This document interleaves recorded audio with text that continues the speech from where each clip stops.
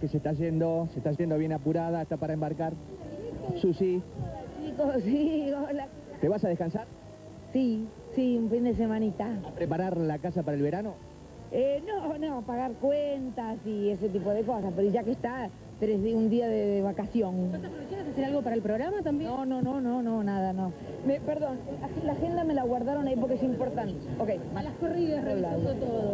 Ok. Ana, ¿qué pasó con la invitación de Mori al programa? ¿No iba a estar esta semana con vos? Sí, creo que viene el jueves, bien. No sé, la verdad que no sé, creo que viene el jueves. Susi, ¿en algún momento vos viste una situación parecida, dolor de cabeza, lo de Mario? Luis, me conoces más que nada en la vida, nunca hablo de los demás, nunca. ¿No te dolió? Me gustaría que a mí hablen de mi, de mi vida privada, así que por, por respeto me parece que uno no puede hablar de la, de, de la vida de nadie. ¿Hay, hay, hay este, revistas, venden revistas acá o libros? ¿O hay- Sí, sí, sí, vende. acá? ¿Para allá? Allá, vení, vení.